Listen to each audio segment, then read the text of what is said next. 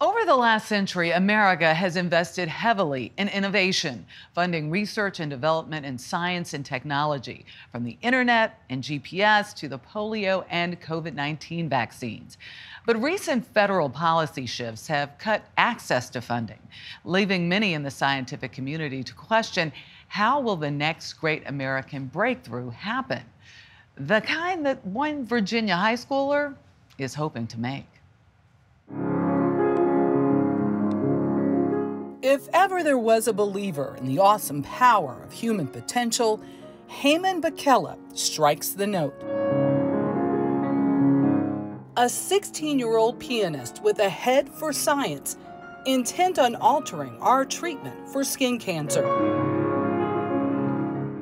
I mean, to me, it just sounded like the solution was really simple.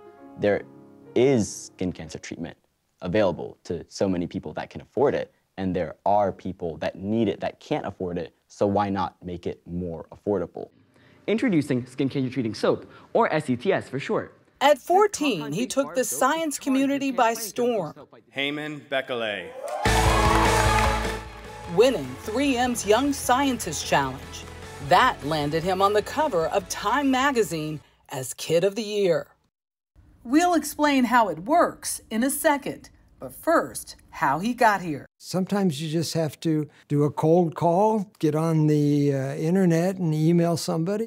That's how, at age 13, Heman caught the attention of microbiologist Dr. J. William Fox, Associate Director at the University of Virginia's Comprehensive Cancer Center. He was certainly enthusiastic, more focused, more intent, and, and really seemed committed to learning as much as he could and a mentorship was born. He wanted to cure cancer with soap. and you go, well, okay, you know, we have to be open to all things. That's what science is about, right? And so I said, let's talk about it. And I said, why? Why would you even want to do that? Coming to America at age four, Heman was inspired by the hardships he recalled as a young child in Ethiopia. Hi, I'm Heman Bekele, and I'm here to end melanoma.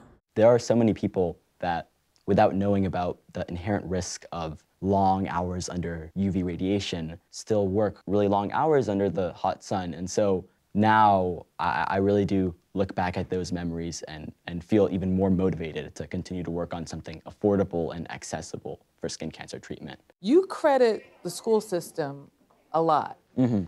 Mom, Mulumebet Bekele, joined him for our interview. He is very empathetic and he has a good heart. He sees a problem and he always thinks of how can I make this better, you know? I never thought he would make this medical breakthrough, but I knew he would get somewhere. How do you foster creativity? I mean, what was he showing you at five and six that you realized he's advanced? Yeah. So asking multiple questions. Like what?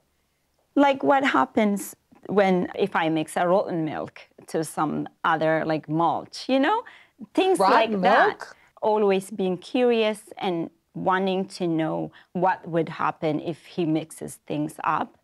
That's like that curiosity you have to foster as a parent, you know, never discouraged what he did. Did you have the answer? I did not. It's not like answering his question. It's like either guiding him to where he has to go ask and encouraging him to ask his teachers questions. After winning that $25,000 prize money from 3M, he partnered with Rebecca Lab, a cancer research arm of Johns Hopkins, to test his hypothesis. So this is what, lab? This is our science lab at our school. Carter G. Woodson High School in Fairfax, Virginia, where he took us through the trial and error of his method beginning first with liquid soap. We'll put some soap into here. Okay. You'll see that the, the soap didn't really mix in. Half of it dissolved, half of it stayed right on the top. That fail led him to a good old fashioned alternative bar soap.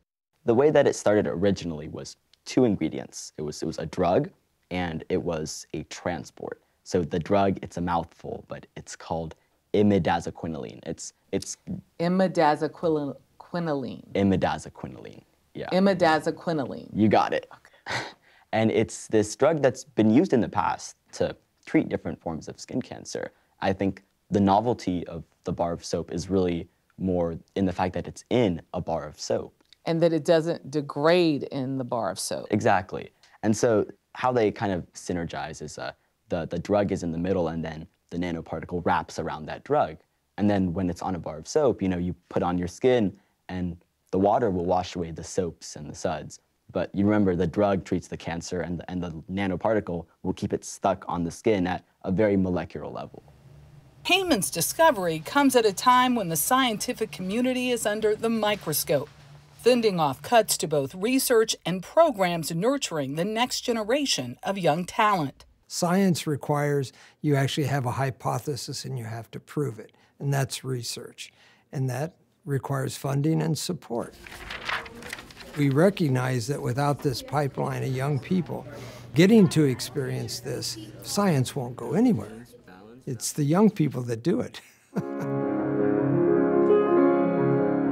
For now, Heman isn't discouraged, and neither is his biggest advocate. I am proud of not only the invention, the innovation that he made, I'm proud of his persistence, his character. I'm just proud of, you know, the person who has become, you know. What's your advice to other young people out there who have your curiosity, your strength to follow through? I would say to, to dream big. I mean, ambition is what took me here, even, even when it didn't really seem like it was possible.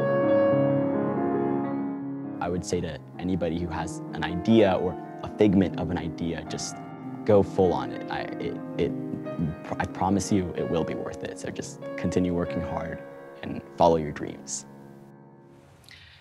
He's remarkable, Unreal. to say the least. You know, he, he's hoping for FDA approval, but that is years and years off. He's he's testing his hypothesis, uh, hypothesis, his prototype, as we speak.